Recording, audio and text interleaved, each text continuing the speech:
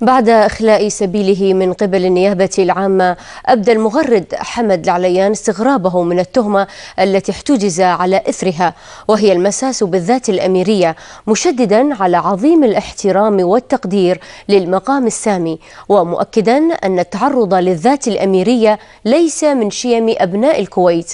وقال العليان للرأي أن أساليب الترهيب والملاحقة التي تنتهجها الأجهزة الأمنية بحق المغردين تستهدف تكميم الأفواه والتضييق على الحريات مضيفا أن هذه الأساليب لن تجزي نفعا.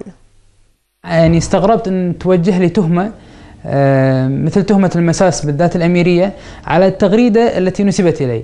آه، تغريدة كانت جدا طبيعية جدا عادية كلام كان موجه إلى المدرسين والطلبة لم يكن فيه تطرق إلى إلى سمو الأمير بل بالعكس كانت يعني واقع واقع الأمر. هم أرادوا أن يفهمون الرسالة بهذا الشكل الخاطئ ولكن حقيقة الأمر هي الرسالة كانت تؤكد على احترام سمو الأمير تؤكد على احترام رغباته.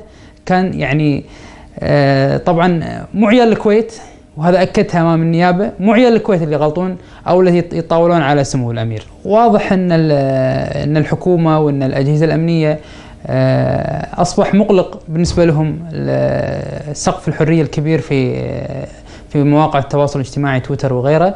آه، ما في طريقة يعني لإخفاض هذا السقف إلا عن طريق تخويف المغردين متابعتهم ملاحقتهم. بالنهاية إحنا إحنا إحنا نعرف شنو نكتب. آه، عارفين حدودنا عارفين نكتب يعني نكتب وفق الأسس القانونيه ما نتطاول ما نتجاوز. ولكن ما في حل إلا هذه الملاحقات وهذا التخويف وهذا يعني الاستدعاء مرة تلو الأخرى. آه، أنا حابه يعني أوصل رسالة إن هذه الملاحقات وهذه التضييقات على المغردين وغيرهم آه، ما هو ما هو الحل؟ ولا يمكن أن يكون حل. آه، الشعب الكويتي شعب واعي وشعب مثقف. هو بالأساس ما يرضى يعني ما يرضى بالغلط ولا يرضى على التطاول على الثوابت اللي جبل عليها المجتمع الكويتي.